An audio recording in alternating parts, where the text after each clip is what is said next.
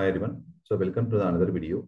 So in this video, uh, we are going to see the new feature that comes out from the Postman version 9.27.0.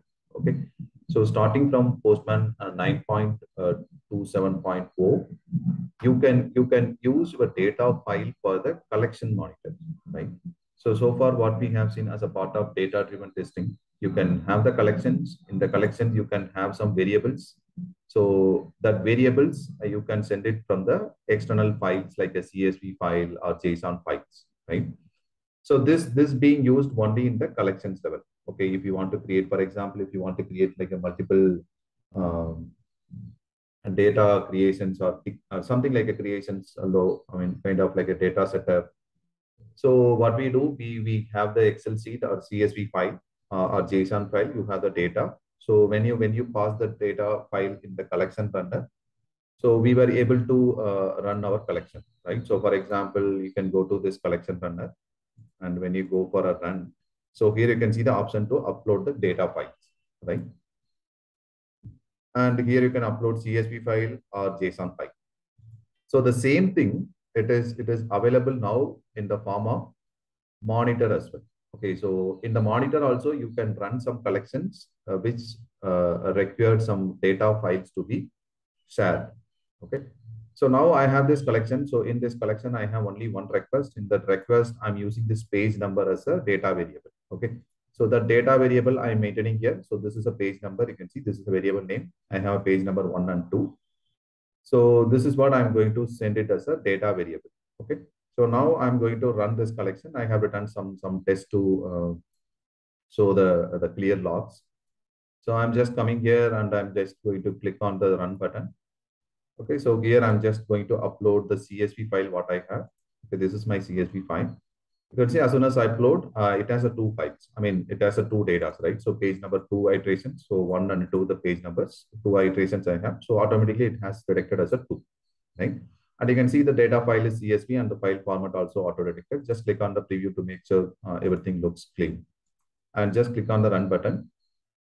Okay, so now it is running for a two iteration. Right here you can see iteration one and iteration two. So the first iteration is a page number, is a value is going as a one.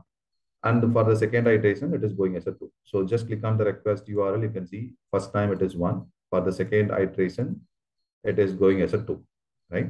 So now I want to uh, have this monitor, monitor as a collection level. Okay, I want to I want to pass the data sheet, which is not possible uh, in the previous versions of Postman. So right from 9.27.0, it is possible. Okay, so usually we'll go to the monitor here. Just click on create monitor. So you can give any any name. So I'm just giving as a data file monitor or something like that.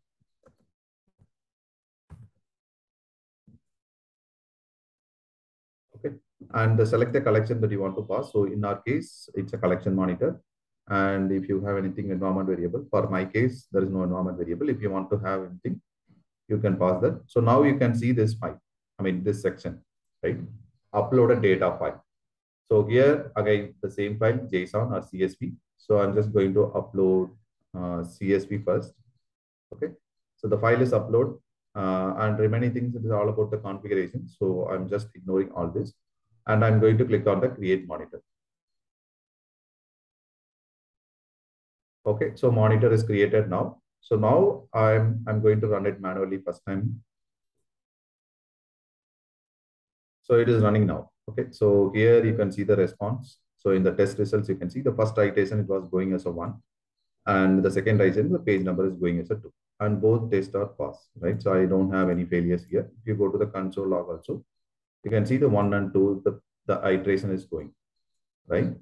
So this is by using the uh, uh, CSV file. So similarly, you can have the, sorry, uh, JSON file also. Okay, so now I'm going to upload as a, so this JSON file, this JSON file also similar thing. I mean, um, it has only two variables, two iterations. One is a page number one and one is a page number two, right? So I'm going back to the Postman. So I am uploading as a JSON file. Okay. So this one also should work. I'm just clicking on the update monitor and I'm going to run mode one more time. Okay. So I'm just clicking on manually run button. Yeah. So this one also working. Okay. So I'm just going to pause the monitor because I don't want to run anymore.